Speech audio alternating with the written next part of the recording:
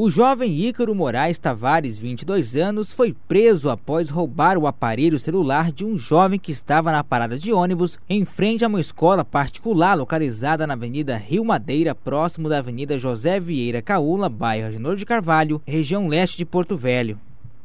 De acordo com a polícia, dois jovens estavam na parada de ônibus quando foram surpreendidos pelo casal que chegou de bicicleta.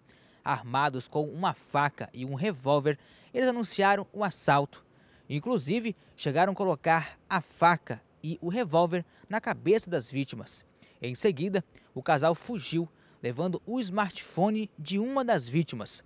Um agente federal que passava pelo local se deparou com os dois jovens gritando. Ele seguiu o casal e conseguiu interceptar apenas o suspeito.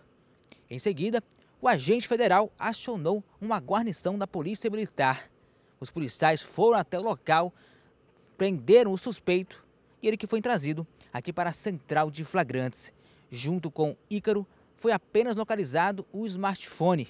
A comparsa, esposa do suspeito, fugiu, levando a faca e o revólver usado no crime. O caso foi registrado como roubo à pessoa.